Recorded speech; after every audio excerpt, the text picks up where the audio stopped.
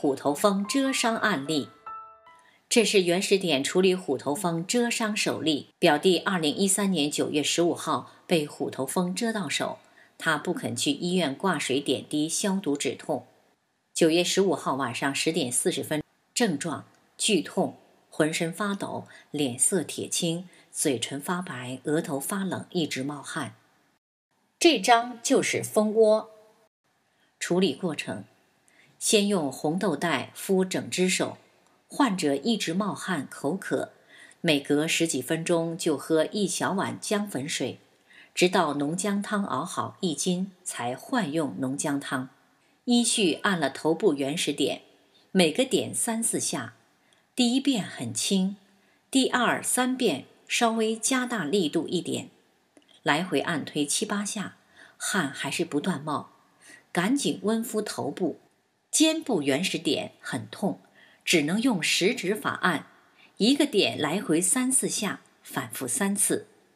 整条肘部的原始点都痛，用食指法太痛无法接受，只好用拇指腹按揉。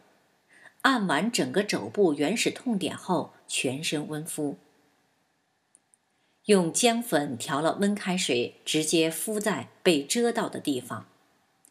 陆续出现头晕、头痛。按推头部原始点，反复三次，症状消失。又出现恶心，按上背部原始点，来回三遍，恶心消失。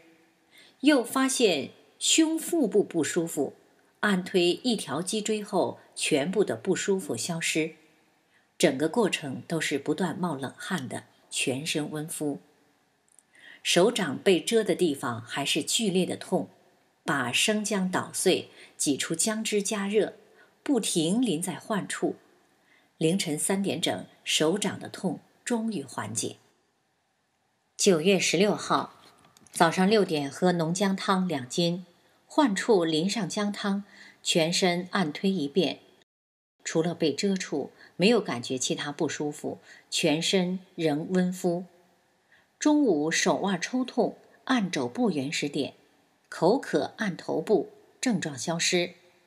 又按推背部原始点，一边按推一边咳，很多白白的痰出来，吐痰持续了几个小时，还不断排气。继续全身温敷，喝浓姜汤。